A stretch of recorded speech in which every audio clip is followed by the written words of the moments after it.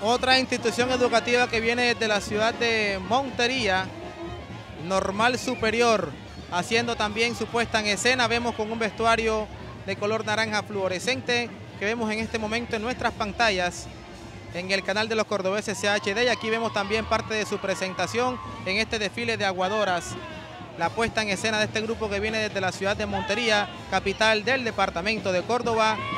Y aquí está su coreografía.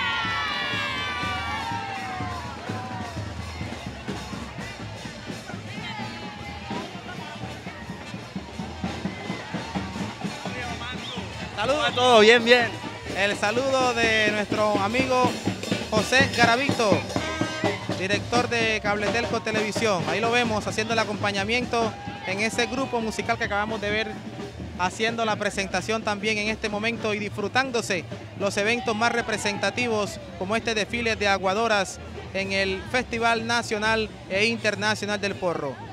El saludo muy cordial para todo el personal técnico, administrativo, todos los funcionarios de la empresa Cabletelco Televisión, no solamente en Montería, la sede de Costa de Oro, sino también la sede de Buenavista, a la sede del municipio de Cereté, a la sede del municipio de Tierra Alta, Córdoba, también en el municipio de Lorica, eh, igualmente en el departamento del Atlántico, también en el departamento de Antioquia, las diferentes sedes de Cabletelco Televisión en todo el país.